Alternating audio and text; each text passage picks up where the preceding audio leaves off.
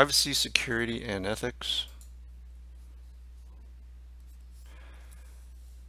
When we surf the internet today, uh, and we go to Amazon, Facebook, uh, etc., uh, what happens here is each of these databases that they work with uh, can be uh, coalesced into big data.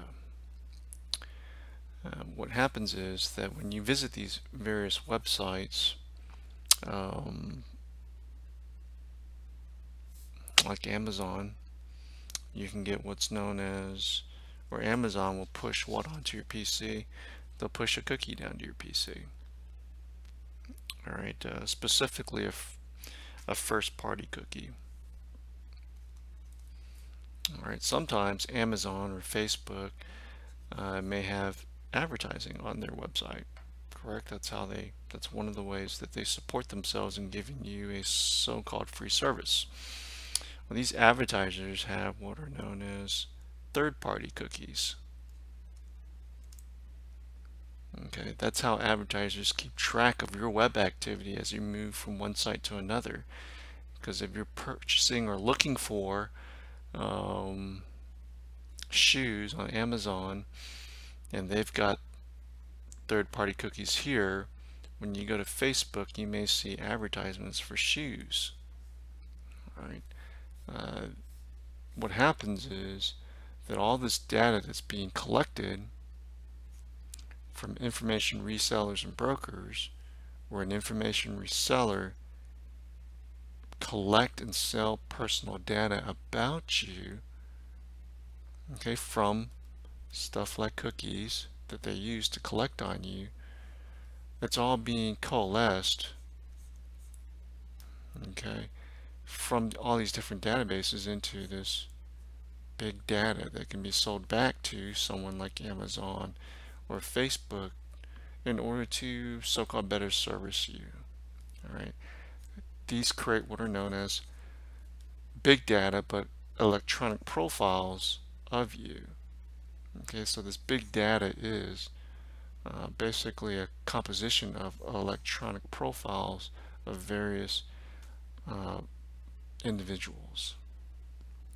Some of the downfalls uh, through this could be what's known as a mistaken identity. Uh, your name and with it could be associated with a social security number in which someone entered in you know to the numbers uh, by accident through a trans transposition error they flipped the numbers and the number they flipped on represented an actual individual who perhaps has a lot of debt associated with them and thus you can't get approved for uh, purchasing a new home or something until you get it cleared up. In terms of private networks within your own network, uh, you could have employee monitoring software at your particular organization where uh, your employer is monitoring um, the different websites that you're going to literally uh, knowing what you're doing when you're doing it. Um, when you're on the internet and web, a lot of times you may feel that you have the illusion of anonymity, uh, that you, you feel an, uh, anonymous when you're making posts on uh, some blog somewhere.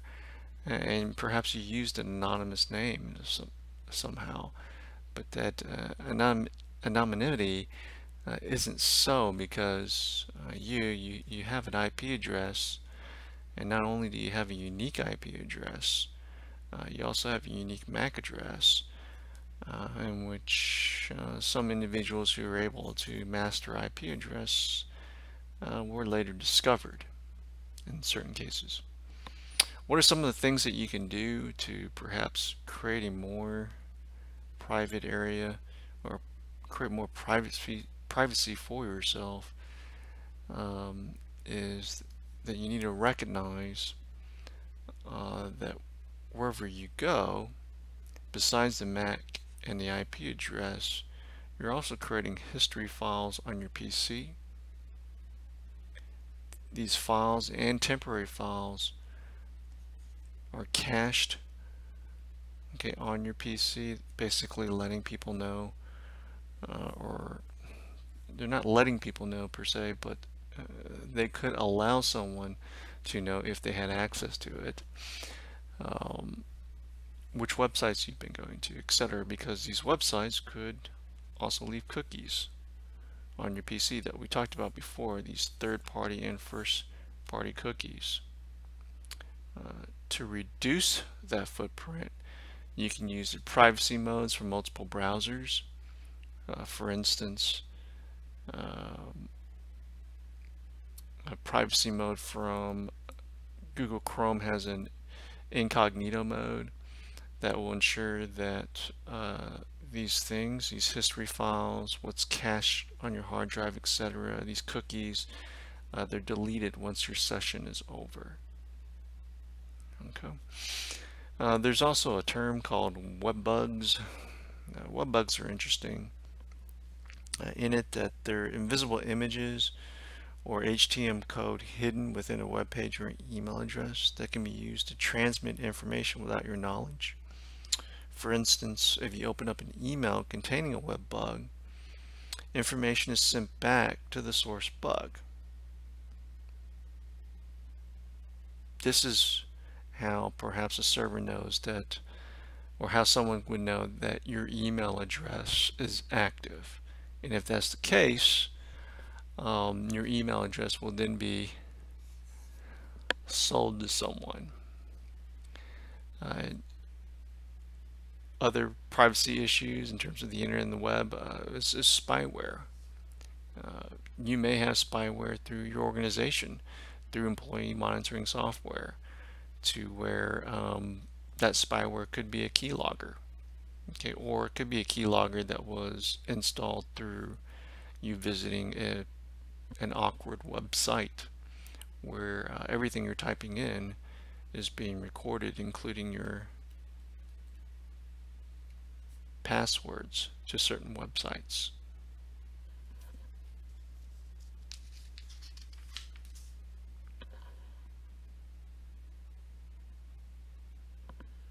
In terms of online identity, this is just a phrase and term meaning uh, the information that you typically volunteer to post about yourself on social networking sites such as Facebook or uh, LinkedIn or uh, etc. And it's important to be aware of what it is that you're posting out there since that and the information that's being collected about you can be coalesced together.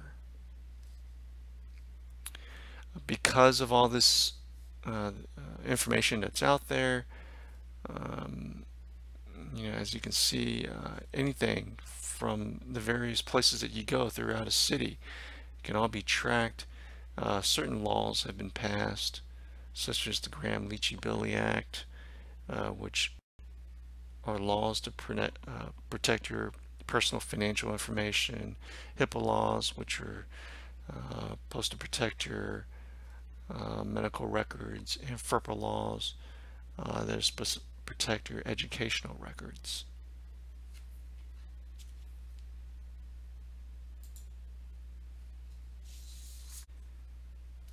Security.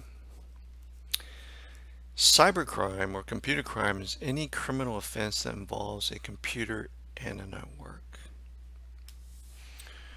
Let's look at some uh, categories of cybercrime. You have identity theft, which is the illegal assumption of someone's identity for the purpose of economic gain. All right, so someone pretends to be you and goes on a splurge with your credit with credit cards that are written under you. Uh, you have internet scams. Uh, scam is a deceptive act using the internet to trick people into spending their money and time for no gain. That's known as an internet scam, uh, such as mass mailing something uh, that says, hey, I need help. If you just give me some money, I'll be fine, and then I'll repay you in some way, form, fashion. Uh, you also have what's known as data manipulation. ArcText defines data manipulation as an unauthorized access to the computer network and copying files to and from a server, where this can be as simple as making a post in Facebook when logged in as someone else, or as complex as feeding a company false reports to change their business practices. There's also what ransomware. You've heard of this, where a company will uh, pretty much lock down someone's server and not allow them to have access to it uh, without you know a password from the person doing the ransoming. And then of course they require some sort of monetary uh, appeasement in order to unlock it. There's also uh, a denial of service attack or dis distributed to where uh, you know you have a server of some kind and you have multiple PCs throughout somewhere that are working together to basically bombard the server so that it's busy and can't provide the function that it's supposed to provide. Uh, a lot of times uh, this denial of service attack uh, shuts down perhaps uh, an ISP provider okay uh, or a website like Amazon In terms of security, there's also a term called social engineering. This is using phishing attempts to where uh, you may receive an email or even a, a, there, it may be a website where they're asking you questions, questions that, that can be used against you, such as um, you know uh, an email saying, "Hey, uh, the bank has been." Broken into or server's been broken into, would you confirm via letting us know what your social security number is and bank account number. All right, social engineering can also be done uh, in person uh, in order to gain access to perhaps uh, what your password could be. A malicious software, basically malware software that's supposed to uh, do bad things so to say. Uh, you, we have viruses, where a virus is simply a program uh, that will have a payload that does something destructive. Okay, you can have worms, uh, which basically flood the system with junk and slow it down. You can have Trojan horse, uh, which basically disguises itself as a legitimate program, such as a free computer game or a free screensaver that could carry okay, viruses and worms within it. There's also a category known as malicious hardware. Uh, in terms of zombies and botnet, that can go back to DDoS, where each of these are basically uh, zombies. They're basically PCs that have been um, taken control of and do a particular task such as bombarding a server through a botnet because this is now distributed. It's not just one PC, but it's multiple PCs that's creating the botnet. Uh, you also have your rogue hot Wi-Fi hotspots. You may go to, um, you know, some service place to get your car serviced or a cup of coffee and you see like you know Starbucks or something like that and then you see something else that says Starbuck uh, and then you click on Starbuck to, to get online and then all of a sudden you're on a rogue Wi-Fi hotspot in which everything you do uh, your confidential information is being collected. Uh, there's also you can also pick up an infected USB flash drive. Someone leaves a, flash drive somewhere in an open lab that actually has a virus on it. So you need to be careful of that. Measures to protect yourself. Yeah, there's a Computer Fraud and Abuse Act, uh, which protects uh, people by making it a crime for unauthorized persons to ever view or copy or damage data across state lines. Uh, you can use passwords that includes symbols, underscore, you know, force caps, etc. Uh, so that uh, your password can't be easily guessed.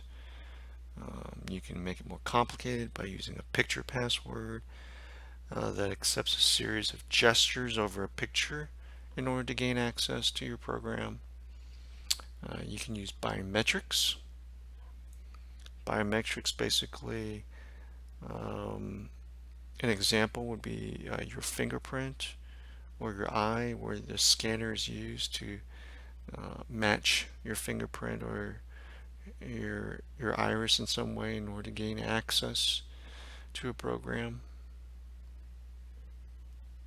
You can use security suites to detect malware. You can use firewalls to prevent uh, bad information from getting into your network and your PC. You can use password managers in case you have a lot of programs and you can't memorize all your passwords and you don't want to use the same password to help uh, implement uh, your different passwords when you go on those different websites. Another way that you can help protect yourself is through encryption. You can encrypt your email so that when you send email um, over a public line, uh, that data is basically locked. It's encrypted. Uh, rather than it saying okay, it has some code that basically says okay, in which you need a key in order to decode it. Uh, you can encrypt your files uh, both on your local PC and uh, as they're traveling over an internet somehow. All right. Uh, websites are encrypted through HTTPS. You'll notice that a lot of times you have the hypertext transfer protocol secure shown on their on your browser, which basically requires that the browser and the connecting site encrypt all messages, providing a safe and more secure transmission of data. You can have a VPN, if so if you're at home, okay, and you're connecting to work, and you're doing that through your ISP provider on a public line. All right, for you to gain access here on the secret formula of Coca-Cola, so to say, uh, you're using a public line to look at it. Uh, you can do that because it's encrypted. Okay, that's what a VPN does. Uh, when you're at home on your wireless network, so that people can't just sniff your data packets, etc., you can use what's known as WPA2. Okay, and this is wi this is a Wi-Fi protected access, which basically encrypts your wireless network at home. It's also important for you to have a disaster recovery plan. You as an individual should have a disaster recovery plan. Uh, you know, what will happen if your hard drive crash? Are you backing up your files? If you're an organization in Houston, all right, and your IT is in the basement, and all your servers are in the basement, and it floods, okay, are you keeping backups in perhaps another area of the United States where it doesn't flood? And then you can use those backups to restore your servers if needed.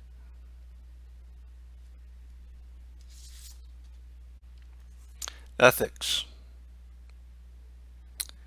and computer ethics.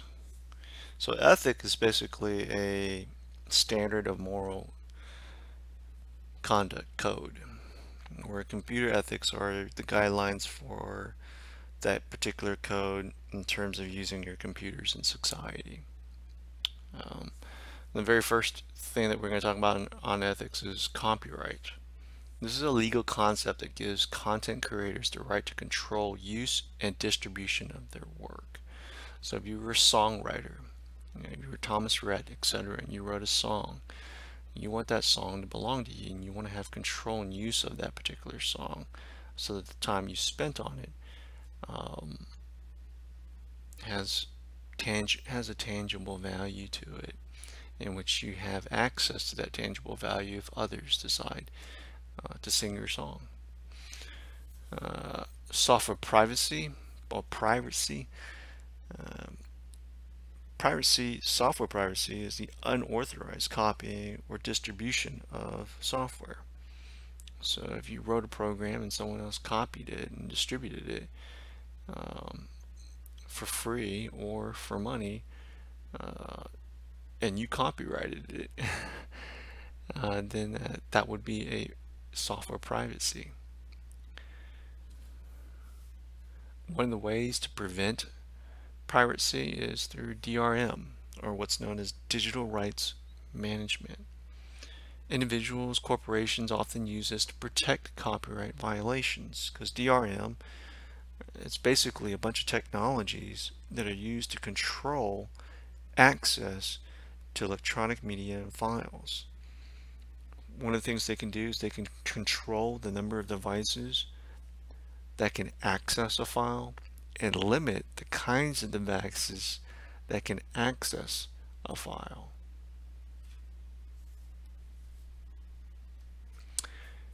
In order to help and ensure that we do have computer ethics, there's also the Digital Millennial Copyright Act.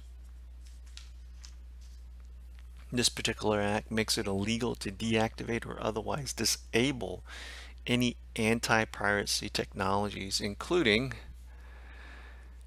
DRM. There's also other ethics such as cyberbullying. We hear about this a lot with tweens and teens in the K-12 area. And then there's also what's known as plagiarism. We hear about that in the post K-12 area, in the college areas, uh, where people perhaps more inadvertently, not purposefully, but inadvertently uh, represent other people's work as their own, right, without properly uh, citing where they get their resources from.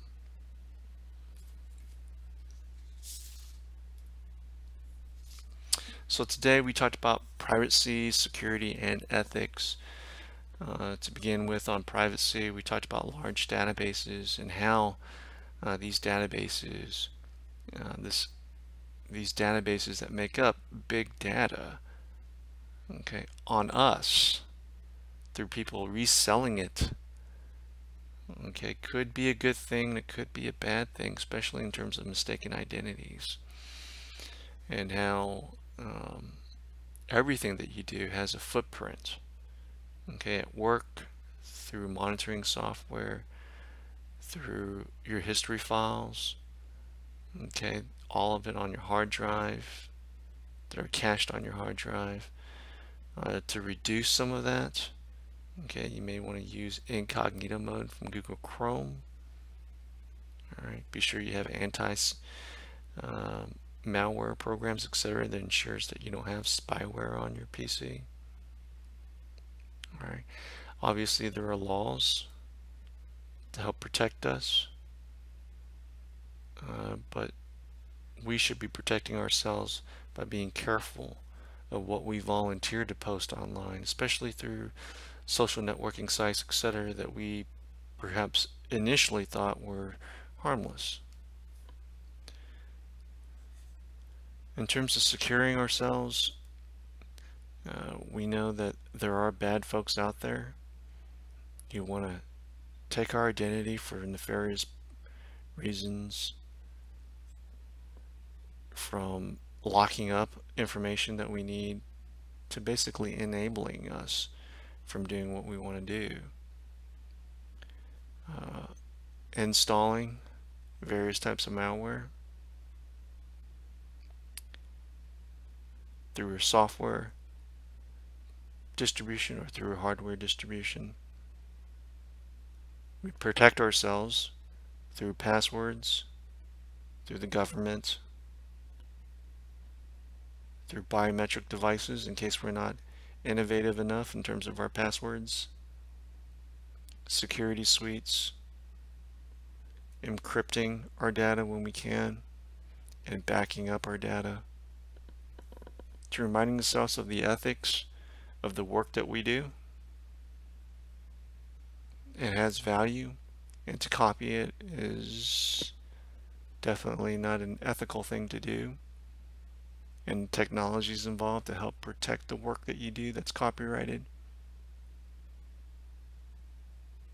To bullying and plagiarism that can take place uh, in the college environment. At least plagiarism can unintentionally take place. Right. And that is chapter 9.